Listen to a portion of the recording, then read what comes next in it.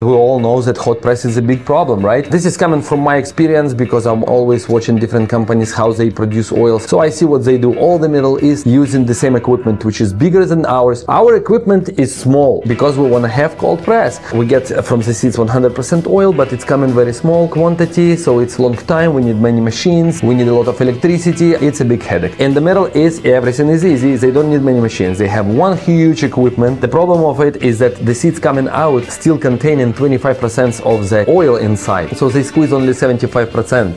But what they do with 25%? They put it second time to the machine. And when they put second time to the machine, then the temperature rise and double. And what do you think they do with this 25% of oil? They sell it separately. No, they put it to another 75. So now you have all 100% of oil. This is how cold press supposed to be cold press became at the end of the day hot press. That's why we put here on our black seed oil one time cold press.